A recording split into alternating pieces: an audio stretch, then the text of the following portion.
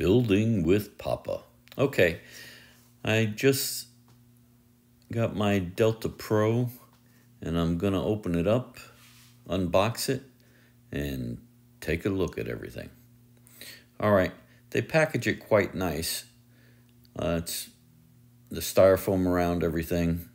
It's pretty good. I have the box first that has all the cords and things in it. And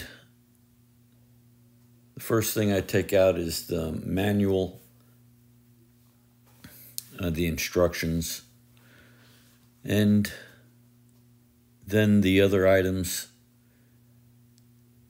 They have the cord for your car. It plugs into your cigarette lighter and into the back of the Delta Pro, and it can charge your Delta Pro. There's your USB cable and the power cable. They package everything nicely. I think it's uh, well put together. Now, I go to pull this thing out, man. It is a hundred pounds. So I'm glad to see it has wheels so that I can move it around if I need to. Has a, a handle on the front, has two handles on the top. That made it easier to pick it up. Then there's a handle on the bottom. You push the button, it comes out, and you can roll this thing around. I think it's awesome. I'm trying to set up a complete system, but I'm paying for all this on my own. So it uh, it's going to take some time. These things are quite expensive, but I do like that they have everything included in in the machine. So you're not uh, trying to figure out everything. Here's the power button. I turn it on and it's at 29%. That's your power button. Uh, that gray button is for the AC. It, it um, puts power to these 20 amp outlets. That's your 30 amp recreational vehicle, uh, USB-C, USB-A, fast charge, regular one. Uh, it's got everything you would need to do any type of charging that you would want. So now what I'm going to do is I'm going to get this thing charged up to 100% because when you first get them, uh, they come with some charge but you need to charge it to 100% and then drain it back down to zero and then recharge it again. Okay, let's look at the back side of this.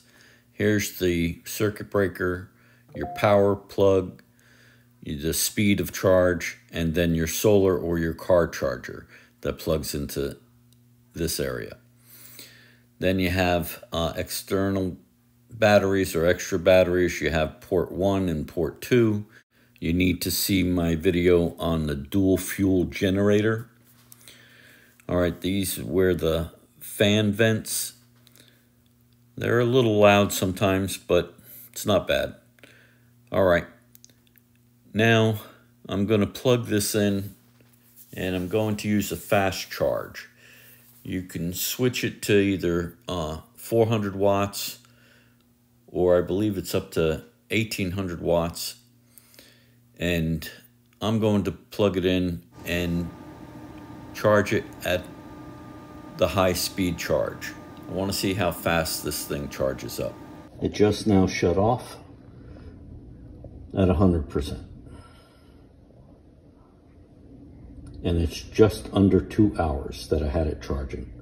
And it was 29% when I started. Now I have additional cables. I have my power cord plugged into the wall. This is the adapter for the dual fuel generator.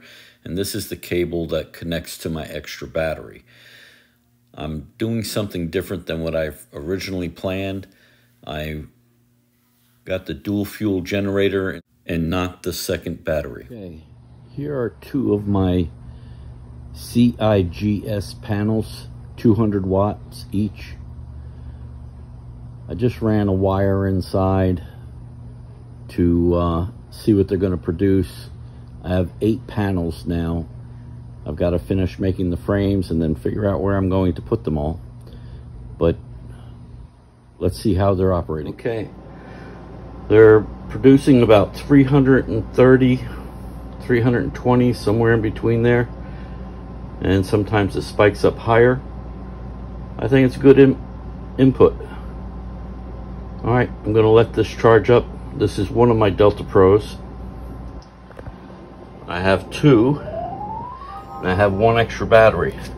But with my rack, I plan on getting three more extra batteries, one for here and two more for this. Everything's quite expensive, so I'm doing what I can. The solar input with two panels is doing well.